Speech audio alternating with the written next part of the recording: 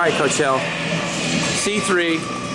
What are you guys looking for right now? What do you want to Two see out of guys right now? minutes. Two minutes. Just the way they present themselves when they when they drill and you know how they stay in the stance. Don't take little breaks.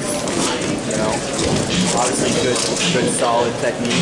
Um, try to stay away from the the moves that don't work. Like that. Inside trips, uh, boot Yeah. scoots, moves like that that don't work. I mean, generally speaking. Just for like the reference. the point zero one percent guys that can do that, right? Yeah, I like high, high efficiency. You like high, you like high percentage, moves, Yeah.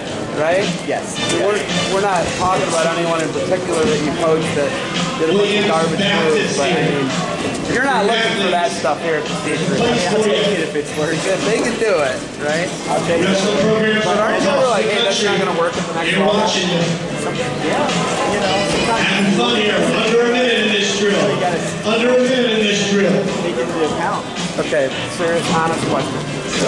How important is it for a guy to not repeat someone who's just a thoroughbred and not a grind? Honestly. Your guys are literally Edinboro guy ever. 40 He's had seconds. grind. Four A in. 40 seconds. just tough work ethic, right? You that? I would give that a pretty accurate uh, description. Yeah, I mean, I'm never give the guys, but for the most part, we're, we're uh, top quality educators. You know, and fight for everything. You know, 20 seconds. usually aren't the thoroughbreds. Yeah. This is Paul Whitefield, Had Hall of Fame coach. Josh Koscheck's not exactly not a Anybody, anybody feel 30 seconds, coach, what said? Territories. You know, 10 seconds. well, it's type place for you. You know, you discover those uh, type of qualities.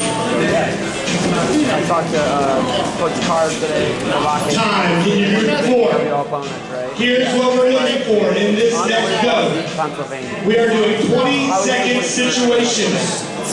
You are in for three in a row. I would say there's a lot of uh, there's a lot of people at one Pennsylvania kids, so sometimes it's tougher. The first one, you are down by two with 20 seconds to go.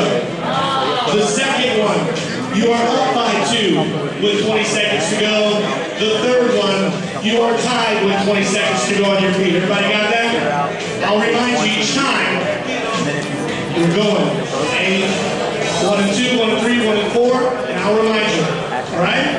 College coaches want to see what are you doing when you need to be tough. Down by two, up by two, tie. Here we go.